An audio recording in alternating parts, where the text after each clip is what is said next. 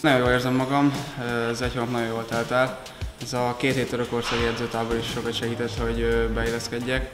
Ugye azért a több ö, magyar srác segített, ö, egyből befogadtak, úgyhogy így ö, nagyon könnyen ment a beilleszkedés, mondhatom könnyebben, mint annó Angliában.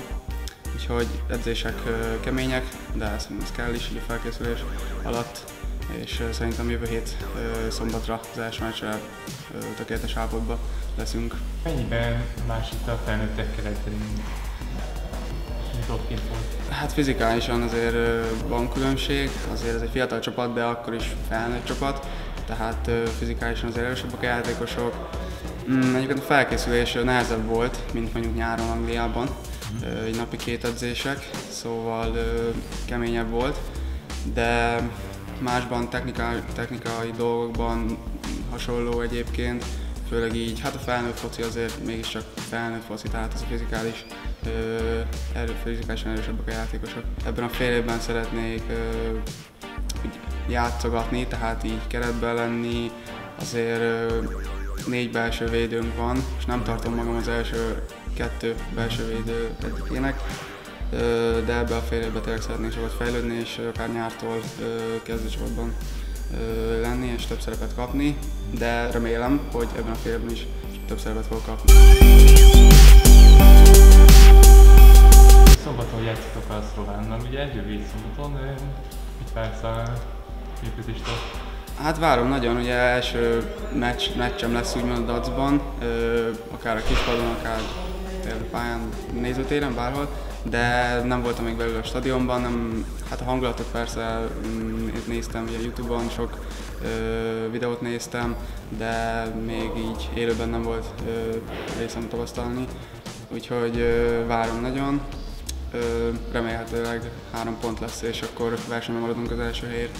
Egyébként így új fiúként mennyire érzed a jelentőségét ennek a meccsnek, ami jövő szombaton lesz? Hát tudom én is azért érezni. Persze talán aki régebb óta itt van, még jobban tudja, aki esetleg már több meccset játszott, több ilyen rangadót játszott, ugye a DAC szlován meccset, de át tudom én is érezni, hiszen alapból első-második helyezett, tehát tényleg egy rangadó. Látom, hogy készülnek a nézők is, ahogy mi is készülünk rá, január 12 óta erről szól a felkészülésről, hogy szlován, szlován, szlován.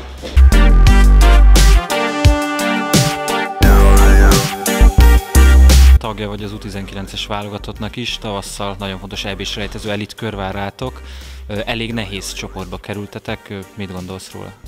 Igen, igen, hát ugye Norvégia, Horvátország, Németország, nem egy egyszerű csoport, és csak együtt tovább, de szerintem ez a korosztály, ez a kétszeres korosztály megmutatta már többször, hogy bármire képes, és úgy fogunk oda menni, hogy legyünk az az egy, tehát ebben biztos vagyok, úgyhogy mindent meg fogunk tenni.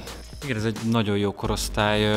A magyar futballszurkolók szerinted bízhatnak ebben a 2000, 2000-es korosztályban a magyar foci jövőjét tekintve?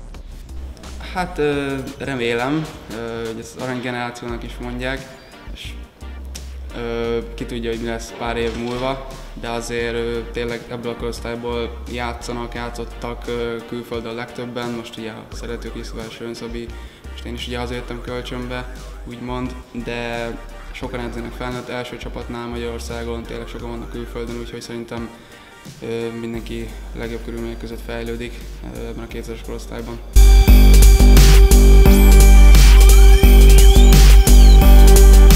Kádár Tamásra hogyan tekintesz? Mondhatjuk-e azt akár, hogy a példaképet, hiszen ha minden igaz, akkor azóta te vagy az első játékos Zalaegerszegről, aki ki tudott kerülni Nyugat-Európába. Igen, igen, erről volt is szó, ugye azt hiszem pont tíz év után jöttem én úgymond az etéből, kikerült Angliába, ugye ő is pont Angliába ment, és hát nézem a játékát, szerintem egyébként jó játékos, Kádár Tomi, személyesen nem ismerem, apukám játszott vele még egy évet az etében, 18-17-18 éves lehetett a Kádár Tomi, de tehát ez megtisztelve érzem, ahol nyertem a második az etéből, és nem sokan kerülnek ki az etéből külföldre, és nézem mindig a játékát, megkövetem. Egy hasonló pályafutással egyébként elégedett lennél?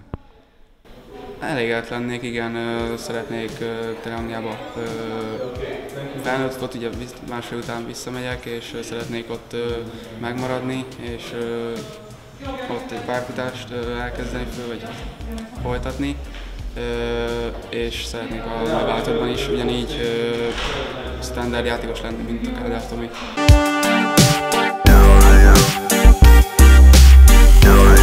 Már említetted az apukádat is, ha minden igaz, ő ugye játszott a Manchester verőzetében. Mennyit szokott egyébként arról a meccsről sztorizgatni neked, mennyire szokott szóba kerülni?